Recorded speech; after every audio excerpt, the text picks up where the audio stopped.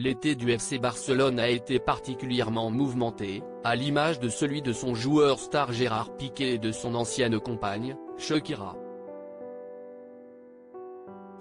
Tandis que le couple s'est séparé en juin dernier à la suite de rumeurs d'infidélité de la part du footballeur de 35 ans, son club est lui empêtré dans de gros problèmes financiers. Après avoir vendu de nombreux actifs, le club a signé un accord très lucratif avec la plateforme de streaming Spotify. Le club catalan va recevoir 250 millions d'euros sur 4 ans et en contrepartie, l'entreprise peut afficher son logo ou faire de la promotion pour ses artistes sur le maillot de l'équipe.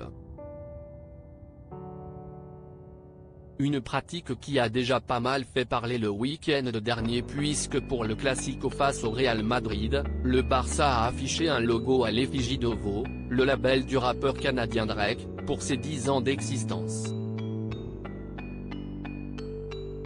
Le club catalan va donc faire la promotion de plusieurs artistes internationaux et si l'on en croit les informations du média espagnol et l'Universal, la prochaine en date pourrait être Shakira.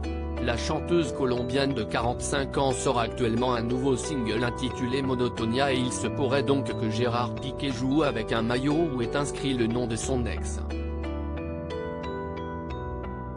Un nouveau titre où Shakira évoque leur rupture une situation pour le moins cocasse, surtout que la nouvelle chanson de Shakira évoque sa rupture avec le père de ses deux enfants.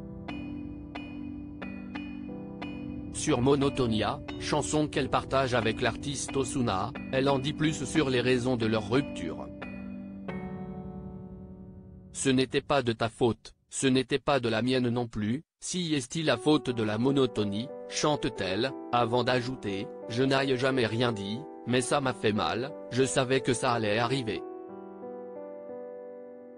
Dans le clip, on peut la voir errer sans but dans un supermarché avant de se faire tirer dessus par un canon et de voir son cœur partir en fumée. Il faut dire que la séparation entre les deux stars a été particulièrement difficile pour la star colombienne et les relations entre elle et le footballeur sont très tendues.